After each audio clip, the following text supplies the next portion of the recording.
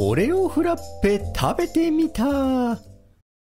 こんなに暑いのに郵便局には行かなきゃいけないし、晩ご飯のお買い物もあるし、こんな日のために最強の日傘を買ってよかったけど、じりじりじりじり暑いです。ああ、暑い。ああ、暑い。テクテクテク。あれなんだかたくさんの視線を感じます。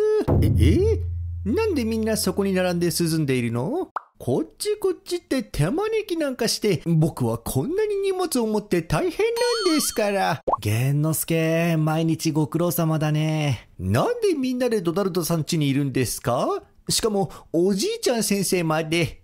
だってこんなに暑いじゃない。お店の前を歩いていたらばったり会って、おじいちゃん先生も涼みに来たんだって。先生、こんにちは。今日はどこかにお往診ですか？いやいや、あんまり暑いからフラッペ食べようと来たんじゃよ。みんなが飲んでいるこれと、もしかしてこれ？そうじゃよ。CM してたフラッペじゃよ。これが噂のオレオクッキーがかかってるフラッペなんですね。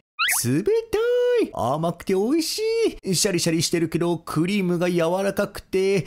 しかも僕のお気に入りオレオクッキーがたくさん振りかけられてます。あんまり面白くない食レポじゃな。ええだってありのままをお伝えしたのに。さ、涼んだことだし、そろそろ家に戻ろうかな。ええまだ来たばっかりなのに。犬は夏バテしないんじゃないの？そんなことありませんよ。僕はデリケートさんなんですから。今日も見てくれてありがとう。暑さを乗り切ろうと冷たいドリンクばかり飲んでちゃダメだよ。じゃ来週まで。バイバイ。